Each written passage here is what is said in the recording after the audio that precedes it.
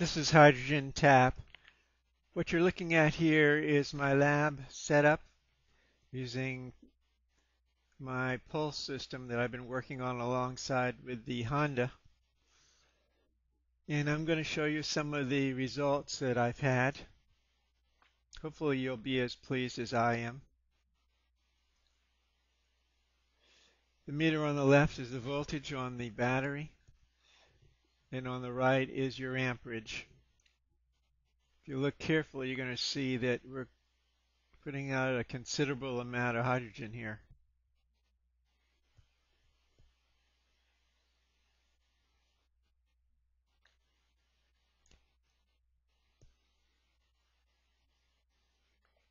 I've essentially been running five projects at the same time. I have to turn this off because it's putting out so much hydrogen that it fills the room. Uh, I can't let it run very long. I'm going to set this on a couple of times so you can see it. And hopefully you'll believe that we're getting as close as I believe we're getting close here. As I was saying, I'm running about five projects at the same time, all to do with this hydrogen. What you're seeing here is the second, that's the pulse system to go with the Honda. And I have three other sections of this all running at the same time, which hopefully you'll, or I'll have time to show you. Here's a good look at my scope. Unfortunately, this is a real, this is a Heathkit scope, and it's old cost me around $50 and uh, that is all I could afford to get. It is working pretty well. One of the problems I'm having right now in having to build into my pulse system is I've got to build a way to mark all the frequencies that I'm using. And that uh, has been proven to be hard. That's one of the reasons I haven't shown it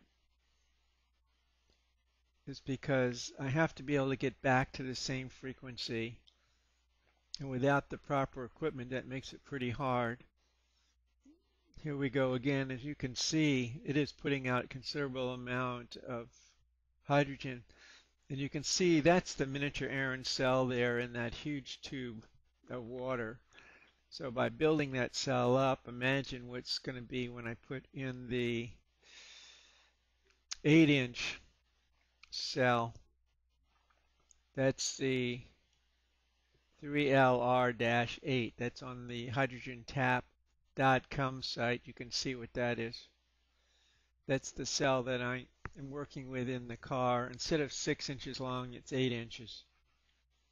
But at least judging from this, you can see the miniature cell that's in there. There's only four plates, by the way.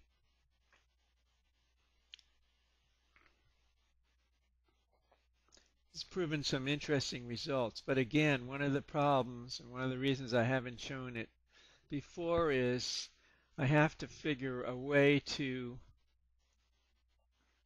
accurately put down something that I can get back to. In other words, just using knobs is, does not really give you the accuracy, and the scope I have isn't really good enough to give me the exact frequencies that I'm hitting here.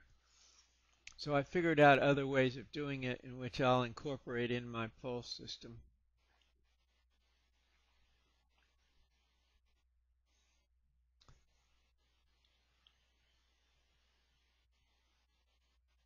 There's quite a lot of people watching the site now, which I'm really energized over with that. Get considerable amount of email, so if you don't get answered immediately, please understand that. And of course, I've gotten a lot of real not sociable mail as well. For some reason, there's a lot of people who think I've built this stuff for them. Uh, actually, that's not entirely true. Here's another view of the miniature Aaron cell. Again, this is four plates. There is no neutral plate in here at all. The reason this is working is because, partially because of the pulse. and partially because of the configuration. That means the lye, which is definitely in here, there's lye in the water, it's distilled water. One thing I believe we can look at as a true fact, and that is since I've been using the lye, there is no more sludge. The sludge is gone. Matter of fact, even the yellow is out on this one. This one, there's just no sign of it. Another thing you should note is I'm using test clips there. They're they're tin. So eventually, as they will rust, but still it's not affecting the water. So all the ideas that we had about the sludge in the water were wrong, or at least my ideas were.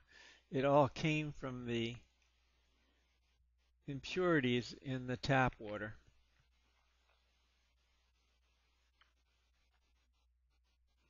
Now if we use straight tap water here, we're going to see a lot of hydrogen because of the impurities. But we can't operate it that way. The only way we're going to be able to use tap water in the system is to filter it.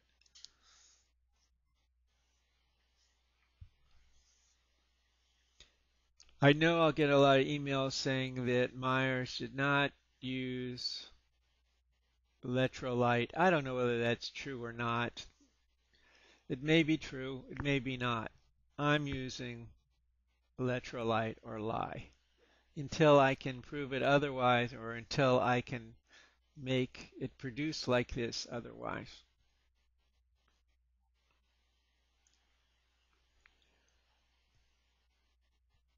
You'll also note that on the site a lot of chit chat has disappeared. On the comment side, I've cracked down a lot on that. I will not allow chat between commenters. I've never done that before. I let some get through, but now I'm clamping down on it. This site is not an open site. If you want to talk to others about my findings, that's fine. Do it on another site. This site is not open. Anybody who wants to talk to me through the comments, that's fine. You can talk to me. If you want to talk to somebody else or talk at somebody else's comments, you have to do that on another site, not this site. As you can see, the system seems to be working very well. This again is a pulse system. I'm using lye. And this is the beginning.